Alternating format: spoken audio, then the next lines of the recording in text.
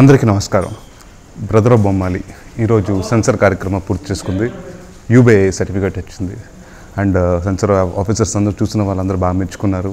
It's be high high entertainment అని. And uh, ఏడో తారీఖు నవంబర్ ఏడో తారీఖుని ఈ సినిమా విడుదలవుతుంది ప్రపంచవ్యాప్తంగా.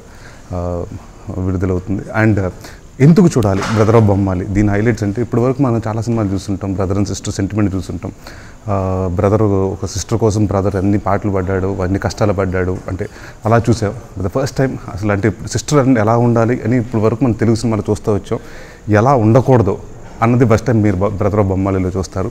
It's gonna be fun entertainment అండి. అంటే ఇప్పటి వరకు నేను చాలా సినిమాలు చేశాను కానీ బట్ ఎప్పుడు ఒక సిస్టర్ ఆన్ స్క్రీన్ ఒక heroine Karthika she's doing a sister and అంటే నరేషే అల్లరిగా ఉంటే అసలు కార్తిక నాకంటే అల్లరి ఉండి అంటే నన్ను నేనే అందరిని ఏడిపిస్తుంటాను బట్ నన్ను ఏడిపించి క్యారెక్టర్ కార్తిక చేస్తుంది. And she has done extraordinary well డాన్సులుగానే ఉండి లేకపోతే అంటే ఈ సినిమాలో హైలైట్ అంటే నాకు తెలిసి కార్తిక గురించి చెప్పాలి.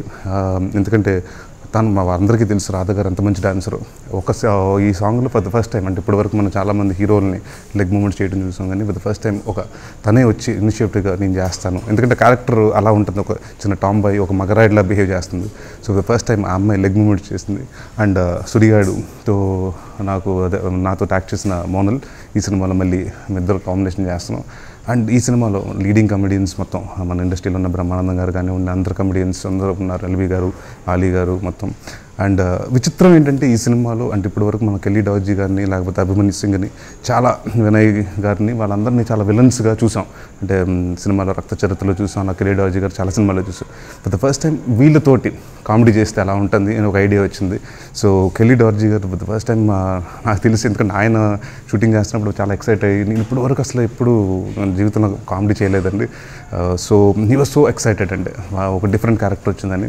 సో మాకేంటంటే ఒక ఎప్పుడు అంత సీరియస్ సీరియస్గా ఉన్నాం అంటే ఒక విలన్ స్థాయిలో ఉండి ఒక చాలా సీరియస్ లుక్ ఉన్న పర్సన్ని కామెడీ చేస్తే చాలా బాగుంటుందని నాకు మా డైరెక్టర్ గారికి అనిపించింది. అండ్ డెఫినెట్గా మాకు ఏదైతే అనిపించిందో స్క్రీన్ మీద చూసినప్పుడు మీకు అలాగే అనిపిస్తుంది. అండ్ uh, శేఖర్ చంద్ర గారు మ్యూజిక్ డైరెక్టర్ అండి. ఈ సినిమాకి అంటే దాదాపు ఐదు సాంగ్లు దా ఇప్పుడు వన్ మంత్ అయింది మ్యూజిక్ ఆడియో రిలీజ్ అయింది. అండ్ అన్ని సెంటర్స్లో మంచి రివ్యూస్ వస్తున్నాయి ఆడియోకి. And cinema has a very positive feedback. And ఏడో తారీఖున మీ ముందుకు వస్తుంది. సో మీరు అందరూ మా బ్రదర్ బొమ్మని చూసి నన్ను మా టీంని ఆశీర్వదించాలని కోరుకుంటున్నాను. Thank you very much